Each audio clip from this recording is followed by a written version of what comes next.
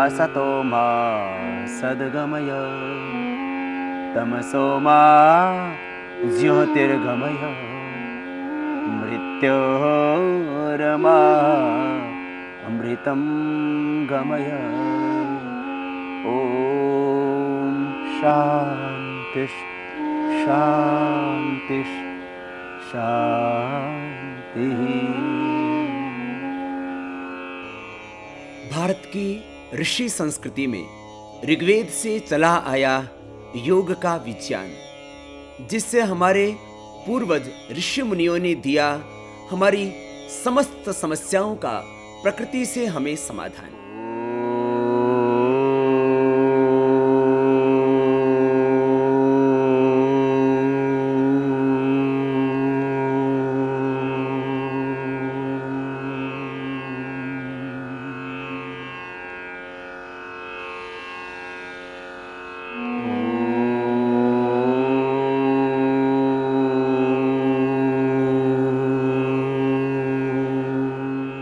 मातृमान, पितृमान, आचार्यवान, पुरुषो वेद। माता पिता यदि विद्वान हैं, चरित्रवान हैं, ऊँचे आदर्श और मूल्यों पर चलने वाले हैं तो उनकी संतति भी वैसे ही होगी। भारतीय संस्कृति में जीवन निर्माण की आधारशिला माने जाते थे सोलह संस्कार, अर्थात गर्भाधान संस्कार पवित्र आत्माओं का आह्वान। और जैसी माँ चाहती थी वैसी उसके गर्भ में संतति आती थी। तो आज भी माताएँ चाहें कि उनके गर्भ से फिर से रामकृष्ण पैदा हो जाएँ, तो वैसा कर सकती है माताएँ। गर्भाधान। पंसवन। गर्भ में बच्चा आने के बाद उसका शारीरिक पोषण पूरा हो उसका मानसिक बौद्धिक पोषण पूरा हो। इसके लिए पुंसवन सीमंतोन्नयन संस्कार, फिर जातकर्म संस्कार। बच्चा पैदा होने के बाद में उसकी प्राकृतिक रूप से, नैसर्गिक रूप से, परंपरागत रूप से उसकी पूरी देखभाल और जात कर्म के बाद में फिर नामकरण, निष्क्रमण, अन्नप्राशन, चूड़ाकर्म कर्णवेद उपनयन, वेदारंभ और उसी के साथ फिर समावर्तन यह पाणी ग्रहण आदि संस्कारों से लेकर के अंत्येष्टि तक सोलह संस्कारों की सांस्कृतिक धरोहर के हम हैं संवाहक। दोबारा से अपनी सांस्कृतिक विरासत को अपनाएँ, अपने संस्कारों को अपनाएँ और एक सच्चे माँ बाप होने का फ़र्ज़ भी तो हम निभाएँ। और आज हम बात करते हैं प्रसव के बाद, डिलीवरी के बाद। जिन दुविधाओं से, जिन समस्याओं से, माताओं को, जिन वेदनाओं और पीड़ाओं से गुजरना पड़ता है, उनका कैसे हो समाधान? नॉर्मल डिलीवरी हो उसके लिए क्या करें? इसके लिए प्रेग्नेंट लेडीज़ अनुलोम विलोम प्राणायाम करें। भ्रामरी प्राणायाम करें। जब वो गर्भवती होती है उस वक्त। और मैंने देखा और सैकड़ों डॉक्टर्स हैं। उन्होंने भी ये प्रयोग किया है। कि गर्भवती जब माता होती है, उस वक्त ये अनुलोम विलोम करती है तो नॉर्मल डिलीवरी होती है। एक बात। दूसरी बात। यद्यपि यह अभी तक भी लोगों के लिए रहस्य जैसा बना हुआ है, परंतु ऐसा प्रयोग हमने सैकड़ों रोगियों पर किया है। एक अपा मार्ग एक चिरचिटा औषधि होती है। उसकी जड़ यदि कमर पर बाँध ली जाती है, जिस समय प्रसव पीड़ा होती है या नाभि के नीचे बाँध ली जाती है तो नॉर्मल डिलीवरी होती है। यह बहुत लोगों के लिए अविश्वसनीय हो सकता है, लेकिन इसमें हानि तो कोई होती नहीं है। हाँ बस इतनी सी सावधानी रखनी होती है कि जब डिलीवरी हो जाए तो उसके बाद वह अपार मार्ग की जड़ हटा दी जाती है। खैर, अब प्रसव के बाद जो पेट के ऊपर लाइनिंग आ जाती है लेडीज़ को, पेट मोटा भी हो जाता है और उससे उनकी खूबसूरती पर एक तरह से जो है बहुत बड़ी बाधा आ खड़ी होती है। कपाल भाती प्राणायाम। यदि नॉर्मल डिलीवरी हुई है तो 20 दिन बाद, एक महीने बाद ही किया जा सकता है। धीरे धीरे स्टार्ट करें। और यदि सिजेरियन हुआ है, माने ऑपरेशन से बच्चा हुआ है तो फिर तो चार महीने बाद करना होगा, तब तक इंतज़ार करना होगा। लेकिन अनुलोम विलोम, ऑपरेशन से यदि डिलीवरी है तो भी चौथे दिन ही कर सकते हैं प्रारंभ। गर्म पानी पीना होगा। गर्म पानी पीने से अपने आप फैट कम हो जाता है। और एक खास बात, यदि माताएँ चाहती हैं कि उनका स्वास्थ्य अच्छा बना रहे और उनके गर्भ से जो बच्चा पैदा हुआ है, जो संतान पैदा हुई है, वो जीवन में बीमार ना हो, इसके लिए ज़रूरी है स्तनपान करवाना। याद रखें, यदि आप अपने बच्चों को स्तनपान कराते हैं तो आपके बच्चे हार्ट अटैक से बचेंगे। आपके बच्चों को अस्थमा नहीं होगा, आपके बच्चे कमज़ोर नहीं रहेंगे, वो मेधावी होंगे। तो बच्चों को स्तनपान माताएँ ज़रूर करवाएँ। वो बच्चों के ज़िंदगी के लिए बहुत ज़रूरी है। और खास बात, जो माताएँ बहनें स्तनपान नहीं कराती हैं, उनको स्तन कैंसर होने का खतरा होता है। तो यह माँ के स्वास्थ्य के लिए भी ज़रूरी होगा कि माताएँ बच्चों को स्तनपान करवाएँ। और एक खास बात, बच्चे हेल्दी होने चाहिए। माने, यदि माँ अच्छा आहार लेगी, माँ नियमित प्राणायाम करेगी, माँ प्रकृति के साथ जुड़ी रहेगी, जब बच्चा घर में होता है, उस समय वो अच्छी अच्छी पुस्तकों का स्वाध्याय करे, वो जो भी जिस मज़हब में, जिस धर्म में, जिस परंपरा में भी मानती हो, अच्छी पुस्तकों का स्वाध्याय। अपने आँखों से भी, दूरदर्शन पर भी वो दृश्य देखें जिससे उसका बच्चा चरित्रवान हो, क्योंकि गर्भ से भी बच्चा बहुत कुछ सीख करके आता है। और जो माँ सोचती है, माँ देखती है, माँ विचार करती है, माँ के शरीर से बच्चे का शरीर, माँ के मन से, माँ के हृदय से, मन के विचार से बच्चे का मन, हृदय, विचार और यह सूक्ष्म शरीर, सूक्ष्म अस्तित्व का होता है निर्माण। गर्भवती माताओं को आहार भी अच्छा लेना चाहिए, जिससे कि कम से कम तीन, साढ़े तीन, चार किलो का बच्चा पैदा हो। तो उससे अंडरवेट बच्चे पैदा होते हैं तो ज़िंदगी भर फिर बीमार रहते हैं। जिन माताओं बहनों के स्तनों में दूध नहीं उतरता पूरा, उनको शतावर का चूर्ण लेना चाहिए। तो उससे माताओं बहनों के स्तनों में पूरा दूध उतरेगा। सतावरी चूर्ण एक एक चम्मच सुबह शाम। आप प्रेग्नेंट लेडीज़ भी एक एक ग्राम तो ले सकती हैं।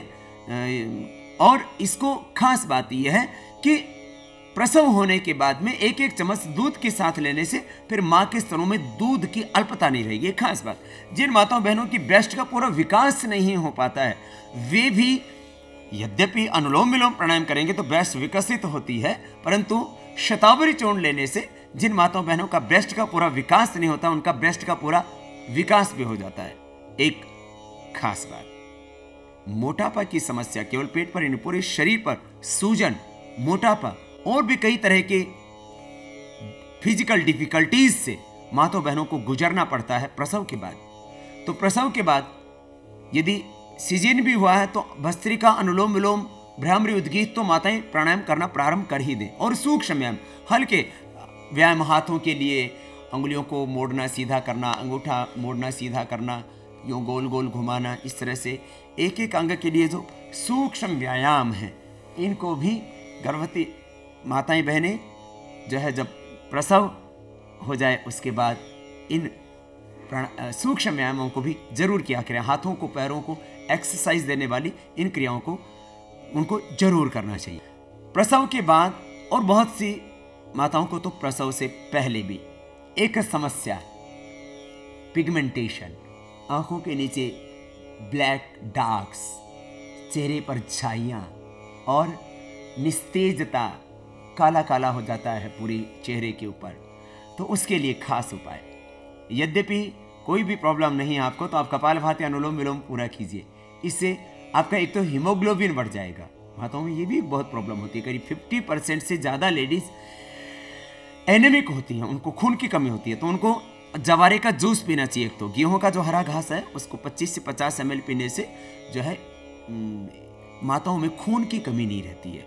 हरी सब्जियों का भी ज़्यादा प्रयोग करना चाहिए, जो समर्थ हो और यह जिनको उपलब्ध हो जाए तो अनार का भी प्रयोग करना चाहिए। पालक का भी जूस उसमें मदद करता है, बथुआ का भी जूस उसमें मदद करता है, गाजर का भी जूस मदद करता है, जो पी सके तो वो सेव का भी जूस पी सकते हैं तो इससे जो खून की कमी है वो पूरी हो जाती है।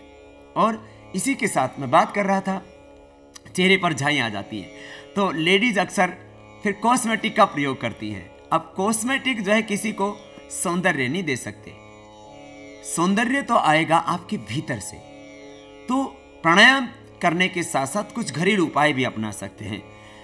जिन माताओं बहनों को आँखों पर काले धब्बे हों वे खीरा और आलू को कद्दूकस कर, कर करके उसका जूस निकाल करके उसको फोए में लगा करके आँखों पर लगा सकती हैं या खीरा और आलू को कद्दूकस करके आँखों पर उसको लगा सकते हैं। तो उसका जूस निकाल लें खीरा और जो है वो सेफ़ रहेगा, आलू का। और उसको, जूस को जो है फोए में लगा के आँखों पर रखने से आँखों के थकान और कालीमा और ये झुरियाँ खत्म हो जाती हैं। और इसी के साथ साथ पपीता और केला, पका हुआ पपीता, पका हुआ केला, उसका भी पल्प बना करके लुद्दी बना करके, उसकी पिष्टी बना करके, जो है उसको भी पेस्ट बना करके चेहरे पर नहाने से 10-15 मिनट पहले लगा सकते हैं। बादाम चिरौंजी हल्दी और मसूर की दाल। इनका पाउडर करके उसको एलोवेरा में, कच्चे दूध में या पानी में मिला करके भी स्नान से पहले लगा सकते हैं। इससे भी आप अपने चेहरे का सौंदर्य बढ़ा सकते हैं। अन्यथा सौंदर्य प्रसाधन बेचने वाले आपको सपने दिखाते हैं, आपको रूपवान होने का आश्वासन देते हैं। लेकिन योग और प्रकृति सचमुच आपके सौंदर्य को निखार देती। सर्वे भवन्तु सुखिनः, सर्वे सन्तु निरामयाः, सर्वे भद्राणि पश्यन्तु, मा कश्चित् दुःखभाग् भवेत् ॐ शान्ति शान्ति आयुर्वेद अमृत के इस कार्यक्रम में आज हम चर्चा करेंगे मरुआ के विषय में। यह मरुआ का पौधा पूरे देश के अंदर सर्वत्र पाया जाता है। यह तुलसी के प्रजाति का पौधा है। तुलसी की जैसे इसमें मजरी आती है और लगभग उसी तरह से इसके फूल होते हैं। पत्तियाँ थोड़ी सी इससे चौड़ी होती है। तो यह पौधा आयुर्वेद के अंदर एक तो इसके जो बीज होते हैं सूखने के बाद इसमें से बीज निकलते हैं। उन बीजों को, यदि एक चम्मच बीजों को आप लगभग एक कप पानी में भिगो दें तो पूरा फूल करके एक कप हो जाता है। उस बीजों को थोड़ा सा मिश्री मिला करके, यदि वैसे भी आप सेवन करें तो उससे जो कमज़ोरी है, धातुजन्य जो बीमारी है, उसमें इससे पूरा लाभ होता है। और जिन माताओं बहनों को रक्त प्रदर है, रक्त प्रदर के लिए भी यह बहुत ही लाभकारी है, बहुत ही गुणकारी है। और प्रायः एक जो बीमारी है, बच्चे के पेट पेट में जो कीड़े हो जाते हैं, उसके लिए पूरे देश के अंदर जो भी औषधियाँ दी जाती हैं, वो केमिकल युक्त होने से अत्यंत हानिकारक होती हैं वो दवाइयाँ। परंतु यदि आप मरुए के पत्तों को पीस करके सुबह लगभग एक ग्राम से दो तीन ग्राम की मात्रा में देते हैं तो कुछ दिन देने से निश्चित रूप से पेट के जो कीड़े हैं, वह समाप्त हो जाते हैं।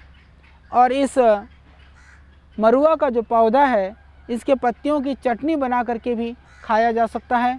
बहुत ही स्वादिष्ट जिस तरह से पुदीने की चटनी होती है, इसी तरह से आप मरुए की चटनी भी इसके अंदर मिर्च, टमाटर या जो भी बाकी द्रव्य आप डालना चाहें, मरुए के पत्ती के साथ डाल सकते हैं। वह भी आपके पेट के लिए इंडाइजेशन के लिए और पेट के कीड़ों के लिए अत्यंत लाभकारी और गुणकारी है।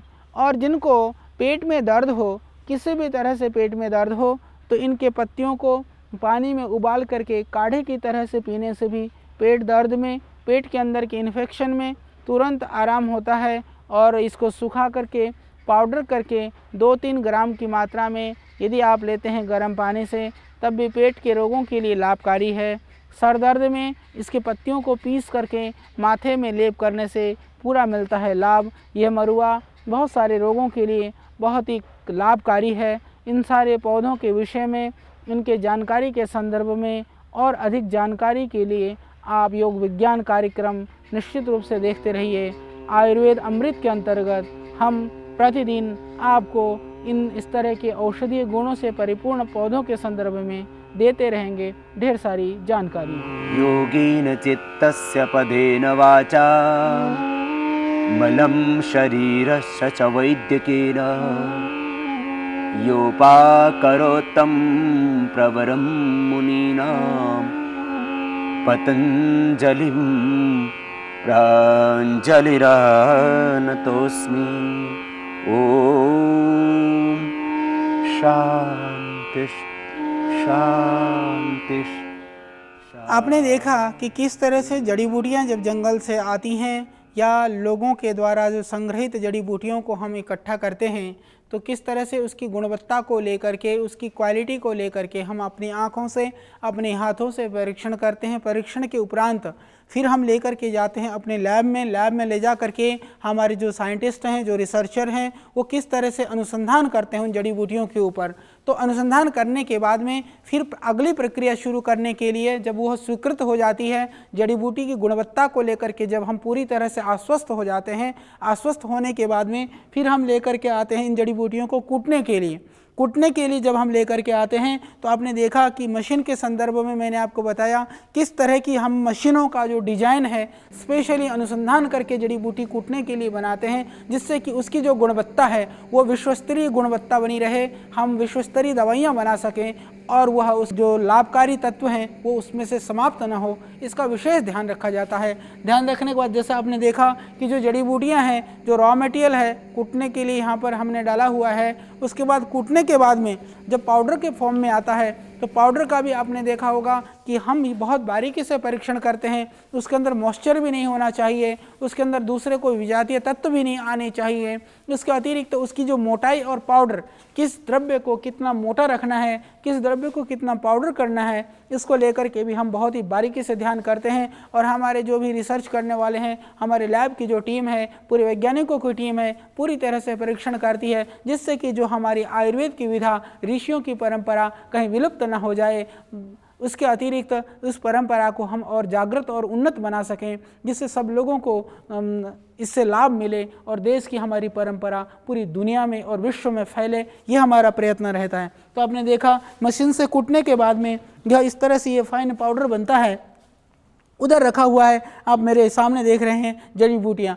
और आप ये देख रहे हैं कि जड़ी बूटी को मशीन के द्वारा हम किस तरह से करते हैं पाउडर। तो ये आप देख रहे हैं कि ये बारीक पाउडर के रूप में फिर हम इसको करते हैं तैयार। तो ये तैयार होने के बाद में फिर यह आप देख रहे हैं कि इसके जो उस छिलके में और इस पाउडर में न तो इसका रंग ही बदला है, न ही इसकी गुणवत्ता में ही कोई कमी आई है। हर स्टेज पर हम परीक्षण करते हैं अपने लैब के अंदर। हम करते हैं अनुसंधान। हर परिस्थिति में, हर स्थिति में, हर प्रक्रिया में, हर जो भी प्रक्रिया से जड़ी बूटियों को हमें गुजारनी होती है, हर स्टेज में हम अपने जितने भी साधन हैं, जितने भी लैब और इक्विपमेंट्स हैं, उनके द्वारा इनकी गुणवत्ता का परीक्षण करते हैं। उसके अंदर किसी भी तरह से कोई भी बैक्टीरिया या किसी तरह का कोई इस तरह के जो द्रव्य हैं, जिसको, जो इसको नुकसान पहुँचा सकते हैं, या किसी तरह के दूसरे जो द्रव्य हैं, जो इसमें मिल जाने से इसकी गुणवत्ता कम हो सकती है उसको लेकर के हम सजग रहते हैं, ध्यान रखते हैं और हम करते हैं अनुसंधान अपने देश के लिए, अपने देशवासियों के लिए और सब हमारे भाई बहनों के लिए जिनको सुंदर स्वास्थ्य मिले, कम से कम लागत में उत्तम से उत्तम औषधियों को हम आप तक पहुँचा सकें। इसके लिए हमारा प्रयत्न ही है अनुसंधान और इस सारी जानकारी को और अच्छी तरह से समझने के लिए और जानने के लिए ज़रूर आप हमारे इस योग विज्ञान कार्यक्रम के अंतर्गत देखते रहिए। यह अनुसंधान। ॐ भूर्भुवस्व तत्सवितुर्वरेण्यं भर्गो देवस्य धीमहि धियो यो न प्रचोदयात् ॐ शान्तिः शान्तिः यत्र नार्यस्तु पूज्यन्ते रमनते तत्र देवता। हमारी संस्कृति में उक्ति है, हमारी परंपरा है कि जहाँ नारी का सम्मान होता है, वहाँ देवताओं का वास होता है। वहाँ पर समृद्धि आती है, वहाँ पर यश बढ़ता है, वहाँ भगवान की कृपा बरसती है। तो आओ, नारी को सम्मान दें और नारी में सीता को देखें, उसमें दुर्गा को देखें, उसमें लक्ष्मी को देखें, उसमें माता पार्वती के रूप को देखें। और माताएँ भी पूरी पवित्रता से अपना दायित्व निभाएँ। आज जो बेटी है, कल को उसको बहू बनना है। और जो आज बहू बनी है, कल उसको माँ बनना है और बाद में उसी को सास बनना है। आज परिवार टूट रहे हैं। संयुक्त परिवारों की थी हमारी संस्कृति, लेकिन आज न्यूक्लियर फैमिली बनती जा रही है। उसका परिणाम है अवसाद। अकेली बहू घर में अवसाद में डूबी है, और अकेली सास घर में बच्चों को पैदा करने के बाद में अपने भाग्य पर रोती है। ना, ऐसा ना करना। यदि आप अपने पति से प्रेम करती हैं तो पति में जिस सास का खून है, उससे भी प्यार करना, उसका भी सत्कार करना। और बुज़ुर्गों को खुश करने के का तो बहुत अच्छा तरीका है। बुज़ुर्गों को उठ करके प्रातः सायं उनको भोर में वंदन करो, शाम को सैन करने से पहले थोड़े उनके पैर दबा दो और पैर ना भी दबा पाते हो तो उनके सामने कभी ना बोलो और उनसे उल्टा कभी ना बोलो। उनके प्रति आदर के दो शब्द कहो और ये विचार रख, हमेशा रहना चाहिए। सब संबंध भगवान के यहाँ से तय होते हैं, रिश्ते भगवान के यहाँ से तय होते हैं। सब संबंधों में ब्रह्म संबंध को देखने की दृष्टि मिल जाए और सब स्वरूपों में ब्रह्म का रूप देखने का विवेक हमारे भीतर जग जाए तो ये परिवारों के झगड़े ही खत्म हो जाए। भाई भाई से प्रेम करे, ऐसे जैसे राम और भरत का प्रेम था। और समर्पण और पराकाष्ठा, राम को वनवास हुआ। सीता ने चौदह वर्ष कष्ट रहे साथ में, आओ, अब हम सब दूरियाँ मिटा दें, परस्पर प्रेम और मोहब्बत से दी, जिए। दो दिन का दुनिया में मेला है, फिर यहाँ से जाना सबको अकेला है। तो क्यों नहीं प्यार और मोहब्बत से ज़िंदगी को जी लें? आओ, सब नफरत की दीवारें तोड़ें, अब तो प्रेम से सबको अपनाएँ और पुनः संयुक्त परिवारों की संस्कृति को दुनिया में हम बढ़ाएँ और भारत का यह जो गौरवशाली अतीत है, उसको वर्तमान में फिर से प्रतिष्ठापित हम कर पाए। Oh.